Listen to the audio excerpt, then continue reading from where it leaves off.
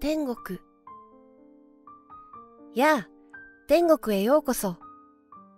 子供はそう言って N 氏を部屋に迎え入れた。その後ろには父親が座っていた。びっくりしたでしょ？天国が本当にあるなんて。僕も最初は驚いた。だけどすぐに慣れちゃったんだ。だって死ぬ前の世界と何にも変わらないんだもの。じゃあ、おもてなしの果物を取りに行ってくるよ。とっても美味しいんだ。子供はそう言って外へ出て行った。すると父親が N 氏の方を向いて申し訳なさそうな顔をした。すみませんね。さぞ驚かれたことでしょう。うちの子はここが天国だと思い込んでいるんですよ。それで、あまりに信じ込んでしまっているものですから、ここは天国なんかじゃない、とは、なかなか言いづらくてですね、今まで言えずにいるんですよ。本当のことを教えてあげた方がいいとは思っているのですが。子供はすぐに戻ってきた。ほら、ここにしかないフルーツ。リンゴにすごく似てるけど、これはもっと甘いんだ。子供はそのリンゴに似た果実をかじりながら手に持った一つを N 氏に渡した。同じようにかじってみると、やはりリンゴの味であったが、確かに極めて甘いようだった。父親は言った。美味しいでしょ？こっちのものは。私も大好きなんですよ。あ、ちょっとすみません。父親は携帯電話を手に外へ出て行った。父親の影が見えなくなったのを確認すると、子供は N 氏に再び話を始めた。ふう、びっくりしたでしょ？天国だなんて言われて。そんなわけないもんね。ここが天国なわけないもん。お父さん、昔病気にかかって以来、自分が天国にいるって思い込んでるみたいなんだ。こっちがどうとか言っちゃってさ。僕も話を合わせて、ここが天国のふりしてるんだけど、いつまでもそうはいかないだろうね。その後、父親が戻ると、N 氏は用があると言って、この家を出た。父親は、子供がここを天国だと思い込んでいるという。子供は父親がここを天国だと思い込んでいるという。しかし、実際は二人とも天国だとは思っておらず、お互い相手に調子を合わせた結果、こうなっているのだ。N 氏は事務所に戻ると電話をかけた。もしもし、奥様ですね。天国精神科のものです。先ほどお宅に上がらせていただいて少しお話ししましたところ、やはり旦那様もお子様もここが本当に天国であるということが分かっていないようです。よくある症状ですので対処はすぐにできますよ。自分が死んだということを気づかせるお薬がございますので、明日にでも病院へ取りにいらしてください。神。N 氏が仕事を終えようやく寝ようとすると一人の男がドアの近くに立っていただ誰だお前は？N が問いかけると男はゆっくりと話し始めた私は神です。なぜ神がここに？そうか願いを叶えに来たのかいえそうではなく。ではなんだ？なぜ私のところに来たんだ？ちょっと警告を。警告だと？ええ。あなたはこのままだと亡くなりますよ。亡くなるだと？ふざけるな。突然の死の宣告に N 氏は激高し目の前の神を叩き始めた。あまりのことに驚いた神はあっという間に消えてしまった。まったく、私が死ぬとはとんでもない神だ。N 氏は愚痴をこぼしながら布団に入った。翌朝、N 氏は神が言ったことが本当だったことを自覚した。鏡には肌色の頭が映っており、布団には大量の髪の毛が死体のように転がっていた。歌声私たちはレインボー星からやってきました。地球の皆さん仲良くしましょう。ある日、非常に可愛らしい宇宙人がやってきた。科学や文明は地球とは比べ物にならないほど発達しているらしく、奥歯に埋め込まれた万能翻訳機を使っていろんな星の生物と交流を深めているのだそうだ。この星の主導権を握っている最も優れた生物の形に似せています。どこかおかしいでしょうか？どんな姿にも変形できる彼女たちは、地球を支配している生物、すなわち人間の、それも運動性や外見、相手への印象も考慮した上で、最も有効だと思われた年頃の女の子に姿を似せているらしい。人間の好みを調査し、ルックスも上々だ。確かに私たちの星の方が文明は進んでいますが、歌というものをこの星で初めて知りました。とても楽しいものなんですね。と、微笑みながら彼女たちは精力的に歌を集めて回った。地球で初めて知った歌が痛く気に入ったようで、地球に来てからというもの、彼女たちの間では歌がひっきりなしに歌われ、また歓迎してくれた人間たちと宴を開き、夜通し歌や踊りを楽しんだ。どうなされたんですか？どうやら体調を崩されているようですが。折しもインフルエンザの季節、多くの人が同じような症状で苦しんでいる様子が彼女たちには奇妙に映ったらしい。どこの誰かは知らないが、彼女たちに詳しくインフルエンザのことを説明したようで、それを聞くや否や、世界中に散らばっていた彼女たちは、やってきた宇宙船に集結し、何やら話し合いを始めたようだった。どうやら、この星で最も優れていたのは人間ではなかったようですね。生物に宿り、時に殺し、毎年その姿を変え、特効薬に対抗し、世界中に広がっているインフルエンザウイルスをこの星の支配者と断定したらしい。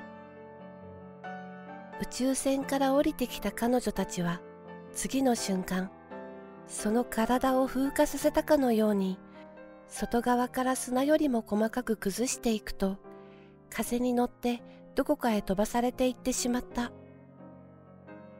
その年、世界中で新種のインフルエンザが大流行し、人類は恐怖に怯えた。有効なワクチンなどもちろんなかったのだが、ある研究機関が感染に関してある奇妙な研究結果を報告した。それは歌を歌う者に感染するというものだった。大声はもちろんのこと、どんなに小さな鼻歌を歌った者にも。報告は瞬く間に世界中に広がり、地球から歌声が絶滅したのだった。みんなの飛行機。お父さん、飛行機は何の力で飛んでいるの？そうだね。エンジンの推進力と翼の揚力で飛んでいるんだよ。でもみんなの力がないと飛ばないんだよ。ほら、見てごらん。飛行機はハイジャックされ、進行方向を余儀なくされていた。お父さん、鶴は何の力で飛んでいるの？そうだね。翼の揚力と推進力で飛んでいるんだよ。でも、みんなの力がないと、もう飛ばなくなるかもしれないんだよ。ほら、見てごらん。航空会社の社員たちが入れ替わり、進路方向を余儀なくされていた。大人へのクリスマスプレゼント。ある年のこと、サンタがこんな発表をした。今年のクリスマスは子供だけが主役ではありません。大人にもプレゼントを配ろうと思います。何でもサンタは欲しがるものがわかるので、プレゼントをイメージしておくようにとのことだった。それを聞いた大人たちは喜び、クリスマスまでおのおのが欲しい物品を考え続けた。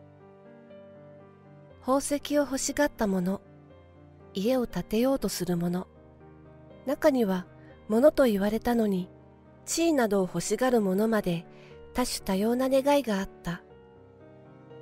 それらの願いを聞いたサンタは考え、疑問形でもう一度発表した。どうしてあなた方はそうお金のかかるものばかり欲しがるのですか？騎士官。ああ、何か真新しい出来事はないものだろうか。M 氏はいつもの散歩道を歩きながら、だらしなく伸びた髭を撫でながらつぶやいた。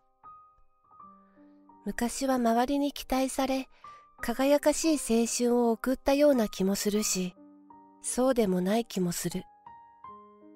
何か刺激的なことはないだろうかと、漠然と考えて随分経ったような、すっきりしないどんよりとした気分だった。すると前から、生物とも鉱物ともわからない物体が、ゆっくりと M 氏に近づいてきた。おや？これまた変わったこともあるもんだ。新しい宣伝手法か？または宇宙人であろうか？M 氏は真新しい出来事に少しときめきを感じながらも、この物体には触ってはいけない。そう感じて、とっさに近づいてくるその物体を飛び越えた。むむ、こいつには触らない方がいい気がするな。それに私は以前この物体を見たことがあるような。M 氏はこの得体の知れない物体を知っているというより、今この体験を以前すでにしている気がしてならなかった。ふむ、これはデジャブというやつだな。確かこの後は、ああ、あった、あの箱だ。M 氏の感じた通り、その先には小さな箱があり、開けると中には腹いっぱい贅沢な食事ができる程度の金貨が入っている。やはり以前体験している気がするな。はて、この後はどうなるのだったか。この金を取ったことで因縁をつけられるのだったか思い出せないが嫌な予感がするな。M 氏は素早くその場を離れてしまおうと走り出した。あその時、M 氏はその先を思い出したが、もう遅かった。M 氏の前には、突然無限に続くかのような穴が広がり、M 氏はその穴へ吸い込まれていった。ああ、また死んじゃった。少年は父親の古いゲーム装置をまだうまく使いこなせないが楽しくて仕方がない。この白と赤の装置が今の少年のすべてだ。ゲームばかりしてないで早く寝なさい。母親に促される少年の心はウキウキし、すっきりと晴れ渡っていた。リコール。とある整備工場は大忙しであった。突然のリコールの決定により、次から次にリコールの対象機種がやってくる。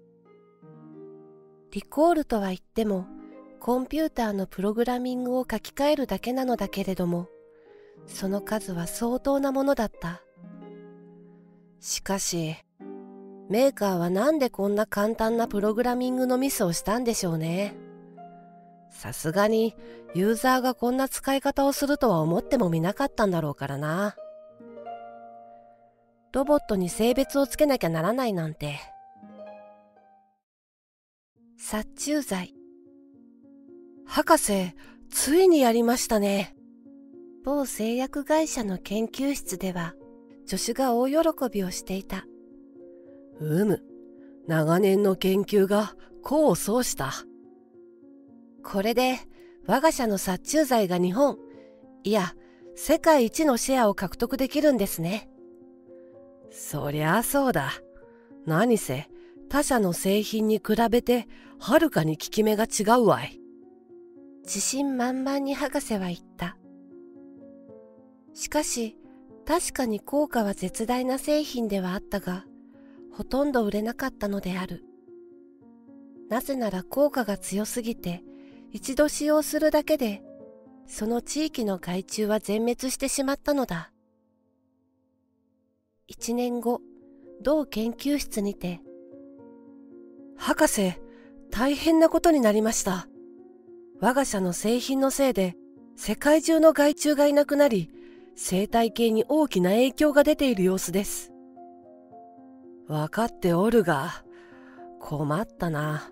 このままでは動物だけでなく、人間までも餌が取れなくなってしまう。なんとかこの状況を打開する策はないのですか？わかったわかった。わしが何とかする。そう言って、博士は虫かごを持って裏山へと消えていった。お願いだから繁殖してくれよ。そう言って実験用で保管してあった害虫のつがいを森へと話した。隣 S 氏の隣には必ず誰かがいた。レストランの時も必ず相席になり、トイレに入れば必ず両隣は埋まった。たとえ他の席が空いていても S 氏の隣に誰かが来るのだ。そんなある日、S 氏の隣が空いていた。レストランでもトイレでも最近は空いていた。このことを不思議に思い、S 氏は同僚や家族を隣に座らせようとするが、誰も S 氏の隣に座りたがらない。そして S 氏の隣が空いて3日後、残業をしていた S 氏は終電で家に帰ることにした。S 氏が座席に座ると、一人の酔っ払いが現れ、S 氏の隣に座り、そのまま眠ってしまった。そして翌朝、S 氏がニュースを見ていると、あの酔っ払いが死んでいることを知らされた。なるほど。私の隣にいたのは死神だったのか。通りで誰も座りたがらないわけだ。例の薬。町はある噂で持ちきりだった。いや、この町だけではなく、世界中がある噂一色になっていた。それは、しばらく前に、ある博士がテレビでこんなことを言ったのが始まりだった。私は今、ある薬を研究しています。この薬が完成すれば、たくさんの人が苦しみから解放されるでしょう。それはすぐにラジオ、新聞などでも取り上げられた。博士は薬については何も言わなかったので、人々はその薬を例の薬と呼んだ。ある人は、あらゆる病気を治すことのできる薬かも、と言い、少しひねくれた人は、助からない病人を苦しまずに安楽死させられる薬では、と言った。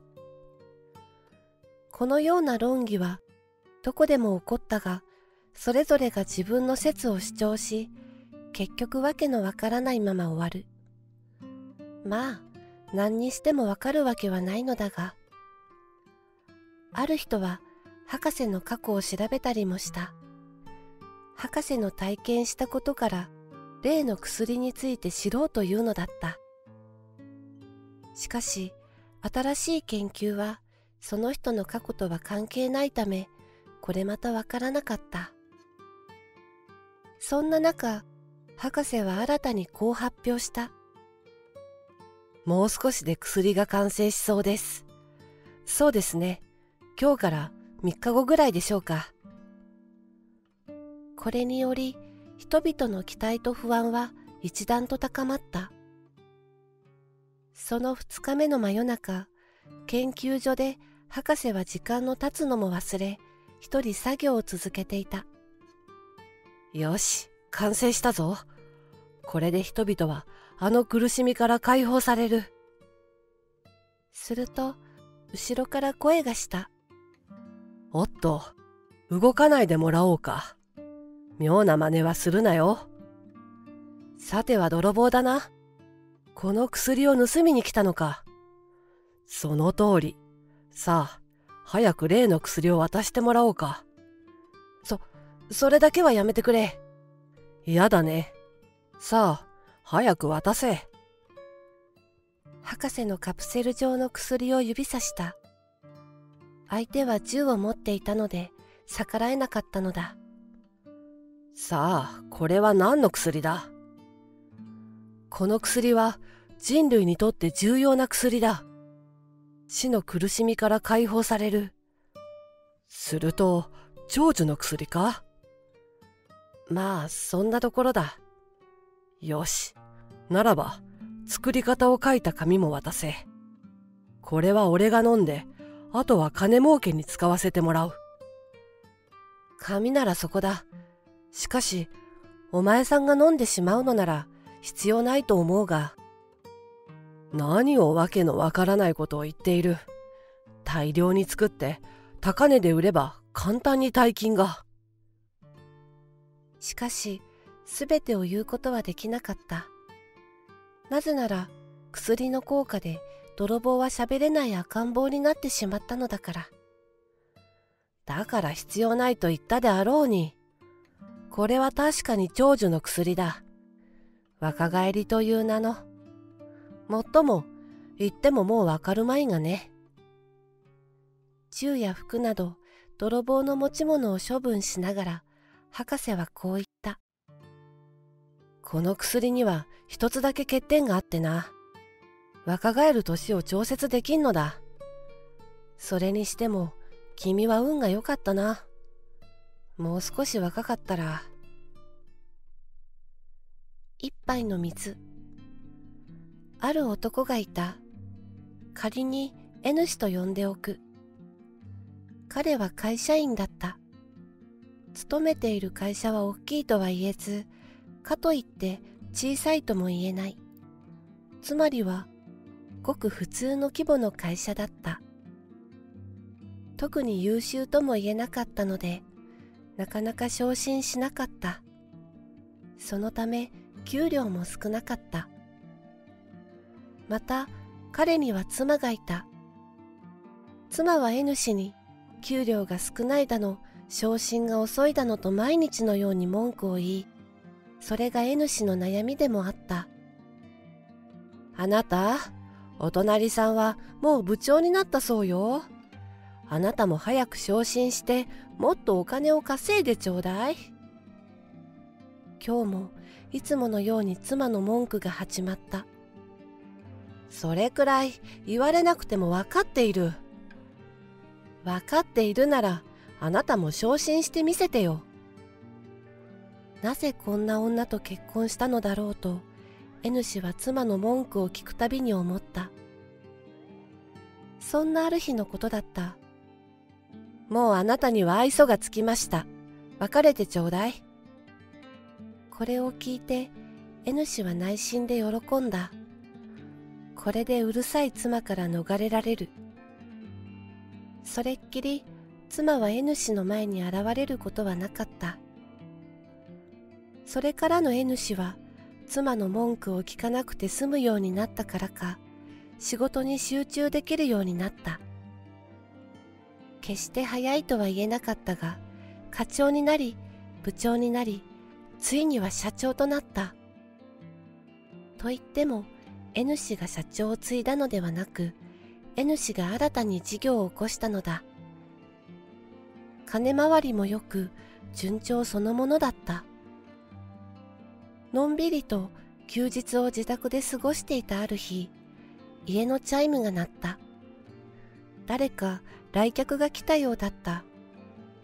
ふむ誰だろうこんな日に。玄関を開けるとそこには別れた元妻が立っていた。なんだ君か。まあいい立ち話もなんだから上がりなさい。僕の自慢の屋上庭園を見せてあげよう。N 氏は元妻を屋上に招待した。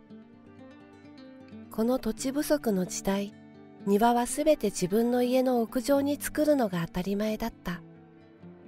どうだい？この庭。さまざまな種類の植物が生えておりそれが N 氏の財布の豊かさを示していた。あの時はついカッとなってしまってごめんなさいね。よかったら私とよりを戻してくださらない？N 氏は彼女が自分の財産が目当てだと分かっていたので少し意地悪をした N 氏はコップに汲んだ水を屋上庭園にこぼした。こぼした水をコップに戻すことができたら、また一緒になろう。元妻はしばらく考え込むと、コップを持って家の中へ入っていった。しばらくすると、元妻は水の入ったコップを持って戻ってきた。水道で汲んできたんだろう？ダメだ。それは僕がこぼした水じゃないじゃないか。N 氏は言ったが、元妻はこう言い返した。ご存知なかったの？屋上庭園に撒いた水はろ過されて水道水として再利用されるのよ。以後、N 氏は妻に頭が上がらない。魔法のような壺。デザイン性が素晴らしいわけではなく、価値のある金属でできているわけでもないその壺に、王様は見とれていた。壺は赤銅色をしており、足から注ぎ口までデコボコしている代わりに取っ手はついていない。壺から王様は目を離し、前に控える家臣から片手で覆えるぐらいの黄金を受け取った。受け取った黄金を壺の中に落とす。黄金はそこにぶつかる音を立てずにどこかへ消えた。続けて丸めて縛った手紙を滑り込ませる。そして壺の底に何も残らず消えているのを確認し、あとは報告を待つ。この壺は中にあるものをどこかへと消してしまう。そんな性質があるのだ。壺に入ったものはひっくり返しても二度と出てこない。どこかへ送られるようだ。これは壺の中に消えたものがどこへ行くのか確かめるために王様が考えた計画だった。その結果、民からの報告により、山岳近くの民家の杯から黄金と手紙が飛び出したことが分かった。早速王様はその杯を持ってこさせ、褒美を手渡し、代わりに杯を手に入れた。この杯から壺の中のものが出るのだな。そのようです。まさか杯から出てくるとは意外でした。王様は家来と会話をした後、あることを思いついた。この壺に水を注いで杯から出た水を再び壺に注いでみよう。それができるなら注いだ水は終わりなく壺と杯の間を行ったり来たりすることになる。それを試みようと王様は杯を壺の上で逆さまにする。そして壺の方に水を注いだ。その時だった。壺の注ぎ口がバッと広がり、王様の手から杯が一瞬で吸い込まれた。一度壺に入ったものは杯から出るはずだ。しかし、壺の中に入ったものを出す杯自身が壺の中に入ってしまった。それを見ていた王様とその家臣たちは、あらゆる方法で壺から杯を取り出そうとしたが、結局取り出すことはできなかった。そのことがあってからも、王様は時々暇になると、壺に適当なものを落としてみては退屈そうな顔をする。王様曰く、この壺は魔法で作られた壺らしい。しかし、壺に入れたものが壺から出てくる魔法の壺と普通の壺は一体何が違うと言えるだろうか？壮大な時代。世界各国が宇宙開発を推し進めるようになってどれぐらい経っただろう？地球上を人類が完全征服し、ようやく誰もが地球から出られるようになった。ジャングルはもとより、昔は謎そのものと言われていた海底でさえ、今や曇りガラス程度の存在でしかない。そんな時代を生きる人類の関心は宇宙に向けられていた。それでも実際に地球の外に関心を持ちながらも多くの人々は宇宙に行ける可能性を持つにとどまっている。技術が進んでいてもまだまだ宇宙には謎だらけだ。行くにも莫大な費用がかかる。だから結局人々の夢はまだ叶っていない。夜空を見上げて、あの星が僕んちの星、と子供が父親に尋ねた。これは子供が適当に決めたのとは違う。尋ねられた父親は昨日自分が打ち上げた星を見上げる。あのピンク色のお星様がそうだよ。そう言って指を伸ばす。見せて。と子供が父親の前にある家庭用電波望遠鏡で宇宙を眺める。レンズを覗く息子を見て自分が子供だった頃との違いをしみじみと父親は感じた。昔は流れ星に願いを込めたり、星の並びが持つ神話をワクワクして聞いたな。子供の頃はどこかの星に行きたいと何度となく思ったものだが、地球にいながら夜空に星を浮かべられる時代が来るなんて。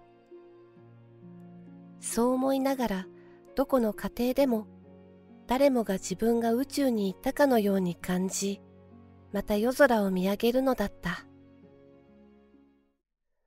偏り機械工学の研究所で V 氏がロボットの対話テストを始めた。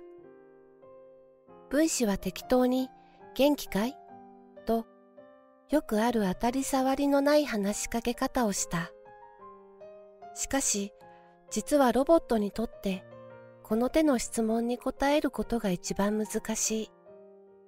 機械の体に生命はなく、そのため時によって体調が左右されないので、いつも元気とも言えるし、その逆だとも言える。こんな場合、ロボットでも人間のように変化のある返事ができると良いとされていた。はい、元気です。だが、今回もこのロボットはそう答えた。今日のテストで V 氏がロボットに体調を尋ねるのは10回目になる。そして尋ねた回数と等しい回数、ロボットは元気とだけ回答していた。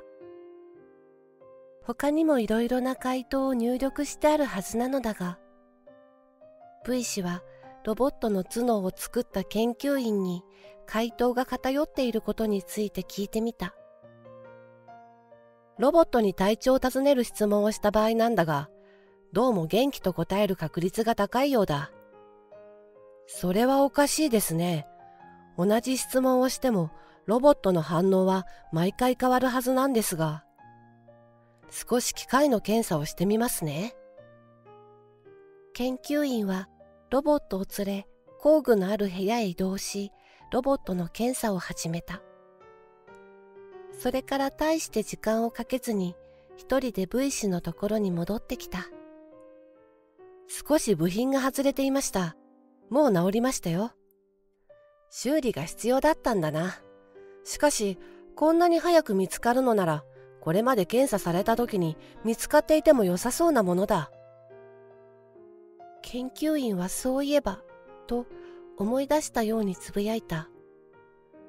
前に検査したのはいつだったかなそういえば入力ばかりしてて検査をすることは本当に少なかったな。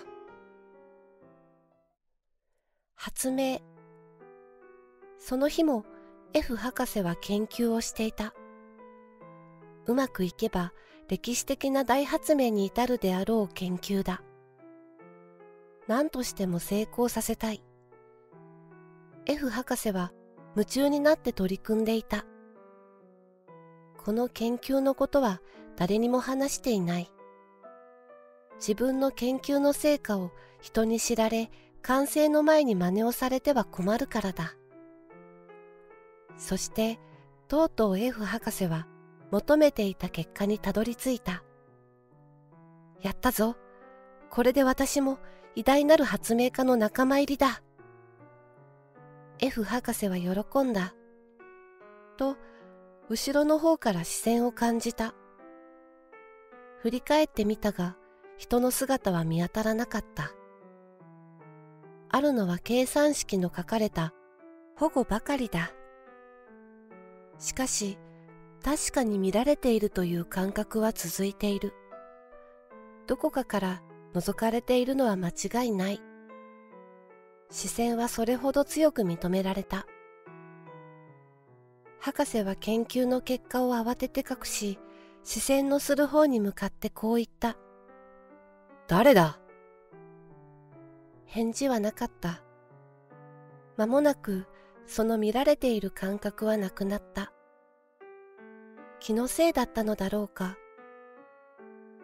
F 博士が取り組んでいたのはタイムマシンの設計だった。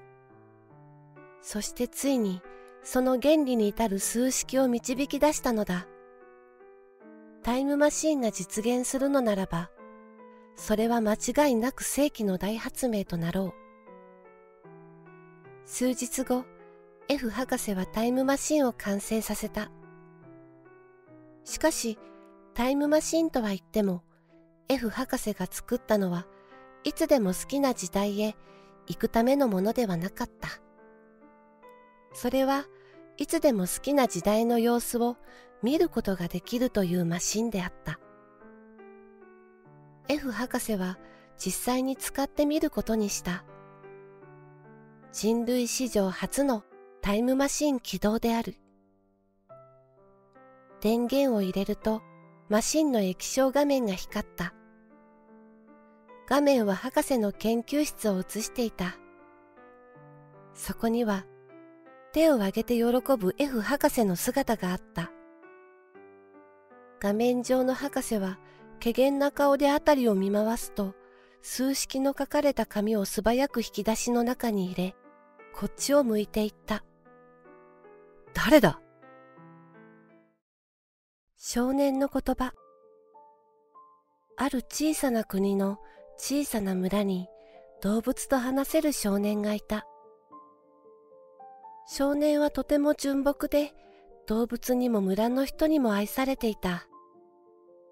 この少年のおかげで村の家畜は皆おとなしく野犬も家畜を襲うことなく大変平和だった。ある日少年の力に目をつけた大きな国の人間がやってきた。小さな村の人たちは必死に抵抗したが叶うはずもなく少年は無理やり連れて行かれてしまった大きな国に着いた少年は鉄でできた施設に入れられ外に出ることも許されなかった無機質な施設の中少年は故郷を思いひどく落ち込んでいたそんな少年の心を感じた動物たちは少年のいる施設の前で泣き続けた。その動物たちの悲痛な叫びに少年の解放を望む人々も出てきた。しかし、意固地になった大きな国の上層部は、無慈悲にも動物たちの殺害を命じた。次々と消えていく動物たちを感じながら、少年はひどい怒りを感じていた。しかし、少年にはどうすることもできない。無力感を感じながら窓を眺めていると一匹の虫が張り付いた。虫の声は聞いたことがないが、少年はありったけの思いでその虫に念じた。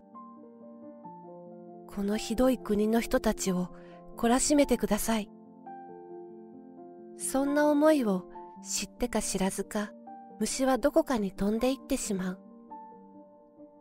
翌日、その国に黒い影が覆った。蜂や蝶、バッタにムカデ、ありとあらゆる虫たちが少年のいる施設に集まり始めた。それだけではない。他の場所にも虫は大量に現れた。田舎では畑は食い荒らされ、町では仕事場に虫が現れ仕事もできない。恐怖を感じ少年を解放するべきだという人もいた。しかし、ほとんどの人は少年にした仕打ちを棚に上げ、被害をもたらした少年に処罰を望んだ。そうして少年は国を乱した罪により死刑になってしまった。国は処罰の日までまた悪さをしないように施設は大きな壁に覆われ虫も一匹残らず殺してしまった。耳を澄ましても何も聞こえない。すがる者が亡くなった少年は神に祈る。私が何をしたのでしょう。私はただ静かに暮らしていただけです。この国の人たちは世界で一番自分たちが偉いと思っています。あなたの力でこの国の人たちを懲らしめてください。しかし、そんな思いも虚しく、少年は次の日殺されてしまった。だが、少年の願いはある形で実現する。大きな国の人々が次々と病気で死に始めたのだ。有効な対処法も見つからぬまま、病気は爆発的な勢いで広まり、国の人口は激減し始めた。人々は神に祈った。しかし、最近に思いが通じる人間は誰一人いなかった。